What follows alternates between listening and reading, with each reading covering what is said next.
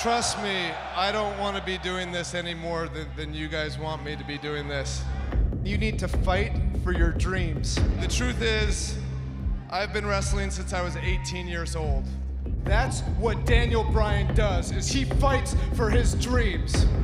I have loved this in a way that I have never loved anything else. Fight is with a heavy heart And if you fight for your dreams, and the utmost sadness your dreams will fight for you. that I officially announce my retirement. Will Daniel Bryan compete in a WWE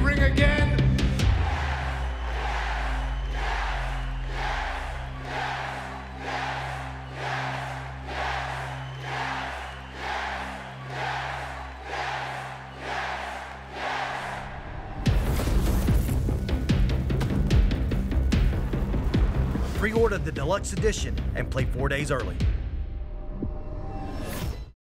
PlayStation